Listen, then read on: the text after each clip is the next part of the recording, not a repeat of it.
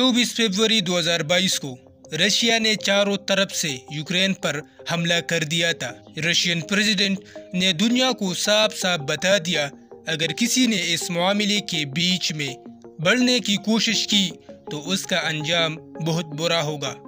Russian helicopter और jet fighter को Ukraine की कई सिटीज़ पर लूप लेन करते और कई मकाम पर फायर करते देखा गया। रशियन प्रेसिडेंट का main target Ukrainian capital Kyiv था उस अटैक में जहाँ कई सौ लोग अपनी जान से हाथ धो बैठी, वही लाखों यूक्रेनियन अपने घर छोड़ने पर मजबूर हो गई जान बचाने के लिए लोग बेसमेंट में जा छुपे और कई ने मेट्रो स्टेशन में पनाह लेने को बेहतर समझा। देखते ही देखते यूक्रेन का कोना कोना धमाकों और इमरजेंसी सायरन से गूंज उठा। यूरोप वर्ल्ड वार टू के बाद इस लेवल की जंग पहली बार देख रहा था।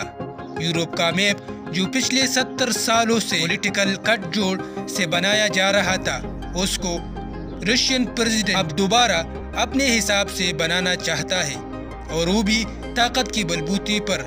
लेकिन आखिर क्यों? यूक्रेन से कई ज़्यादा पहली हुई रशिया को इतने छोटे यूक्रेन से आखिर क्या खतरा है।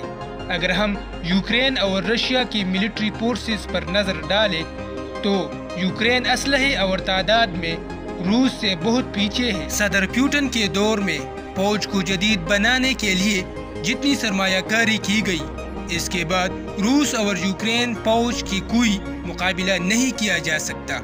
मगरबी सिक्योरिटी हकाम के अंदाजों के मुताबिक रूस ने एक लाख नब्बे हज़ार अफवाज को यूक्रेन की सरहद पर छोड़ा है, जबकि यूक्रेन की फौज एक लाख पच्चीस हज़ार फौज पर मुश्तमिल है।